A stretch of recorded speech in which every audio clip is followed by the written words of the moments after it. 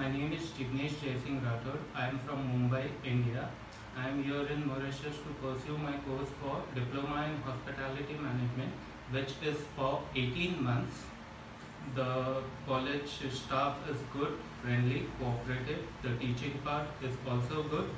I will complete my course in 18 months. I'll take my certificate and I'll go back to India.